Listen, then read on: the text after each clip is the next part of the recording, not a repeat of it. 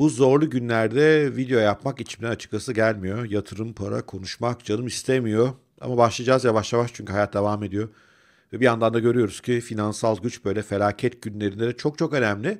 Hem kendimize hem başkana yardımcı olabilmek için. Fakat bugün paradan değil de Amerika'daki UFO'lardan bahsetmek istiyorum. Çok acayip işler oluyor.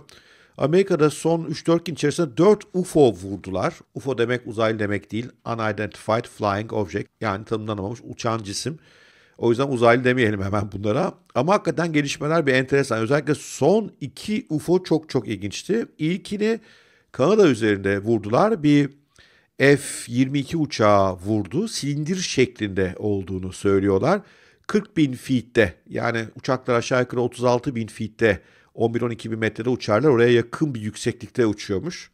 Dün de yeni bir tane daha vurdular. Bu sefer de Amerika'da Michigan'da bir gölün üzerinde vurdular. Gölün üzerine gelmesini beklemişler daha doğrusu. Cumartesi günü görmüşler fakat işte şehirlere düşmesin diye beklemişler. Bir gölün üzerinde vurdular. Bunu 20 bin feet'te yani aşağı yukarı 6 bin metre yükseklikte vurdular. Bu seferki sekizgen şeklinde etrafının ipler sarkıyormuş ama o iplerde bağlı olan bir şey yok. Her iki olay hakkında da Amerika'da Pentagon açıklama yaptı ve dedi ki tanımlayamıyoruz bu cisimleri. Nereden geldiğini bilmiyoruz. Yani tabii ilk başta akla gelen Çinliler mi yaptı yine bu işi? Çünkü biliyorsunuz Çinliler geçenlerde bir balon göndermişler Amerikan üzerine. O da bayağı bir konuşulmuştu. Fakat bunları tanımlayamıyoruz. Daha enteresanı nasıl uçabildiklerini bilmiyoruz. Bunun içerisinde bir motor sistemi tanımlayamadık. Bir tehdit olarak görmedik fakat gözetleme becerileri olduğuna inanıyoruz dediler. Dün vurulanın bir kısmı bir gölün üzerine, donmuş bir gölün üzerine düşmüş durumda.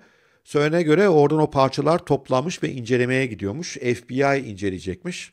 Daha evvel düşenden de galiba bazı parçalar buldulardı.